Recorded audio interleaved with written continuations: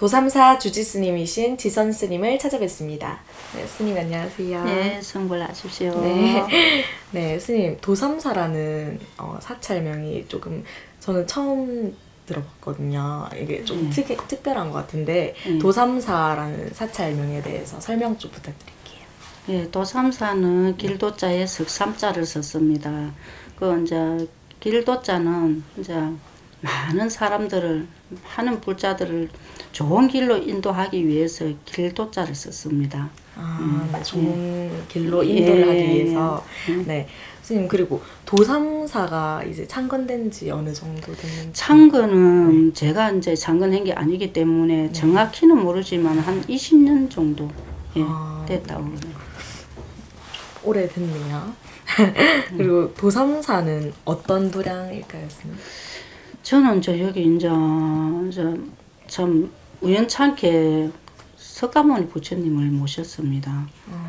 이제 음, 간센보살래, 지장보살 원래는 그렇게 모시면 이제 안 된다고 그러는데 저는 또 이제 이 계시는 부처님을 어떻게 하지 못하고 네, 그렇게 모시자가 있습니다. 뭐 석가모니 부처님 도량 음, 네, 석가모니 예. 부처님이랑 또 인연이 예, 예, 되셔가지고. 뜻하지 않게 예, 그렇게 음, 모시게 되었지요. 그리고 여기 아까 보니까 독성각이라는 곳이 있더라고요. 독성가 이제 그 나반존자라고 이제 하시는 부처님인데 네. 이제 나반존자 부처님은 이제 이 혼자 이제 독성으로 이제 깨달으신 부처님이라 음, 그래서 이제 독성각이라고 하고 예, 나반존자 부처님이라고 하시죠. 스님 이 뒤쪽에 보니까 네. 그림이 굉장히 아름답고 멋있는데 그냥 그림- 취미로 하시는 그림 거예요? 그거는 그냥 내가 취미 생활로 그냥 취미로 이제 한 번씩 이제 하는 거고 그거는 시간이 예, 나실 때 예, 그냥. 예, 그냥 취미로는 네, 조금 한 번씩 이제.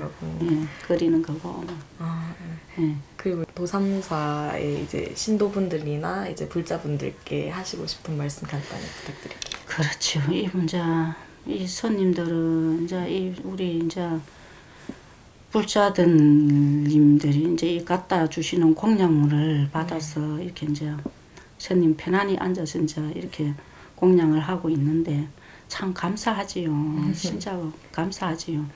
저는 이제 이또 이제 불자님들이 또 이제 저리 멀리도 있고 멀리 좀 많이 있지. 뭐 부산이라든가 울산이라든가 창원, 마산 해서 뭐 강원도도 있고 뭐 경기도 서울도 있고 제가 불자님들이 뭐 멀리 좀 많이 이래 계시는데 멀리서 이렇게 참 이래 멀리서 도와주시는데 너무 감사하지요. 이 내가 이 보살님들이 이 멀리서도 항상 붙여주고 이런 이참 보살님들 참 오늘 참말로 참 이 자리로 비롯해서 고맙다는 말씀을 드리고 싶습니다. 음.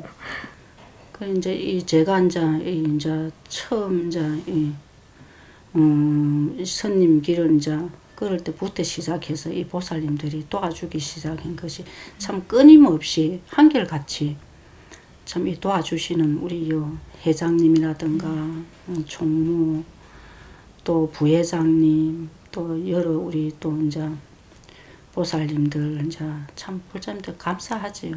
감사하던 말밖에 할 말이 없습니다. KBB 한국 불교방송 신문 어, 시청자분들께 하고 싶은 말씀 간단히 부탁드릴게요.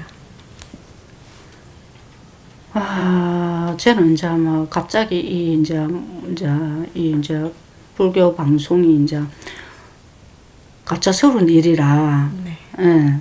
그러고 감사하지요. 이렇게 이제 시골까지 시골까 인문 시골까지 이래 찾아주셔서 또 이렇게 이제 음, 또 사진도 찍고 이래 주시니까 저는 진짜 감사하지요. 이 먼 길까지 음, 고맙다는 말씀 드립니다. 예, 감사합니다.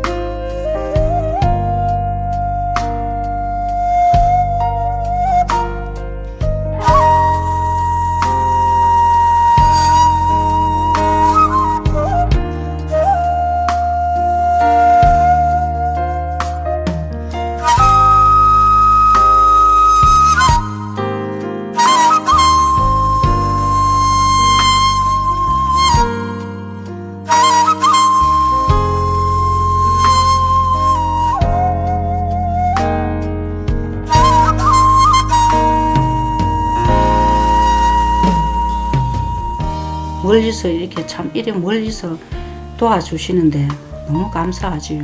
이 내가 이 보살님들이 이 멀리서도 항상 붙여주고 이런 이참 보살님들 참 오늘 참말로 참 이 자리로 비롯해서 고맙다는 말씀을 드리고 싶습니다. 음.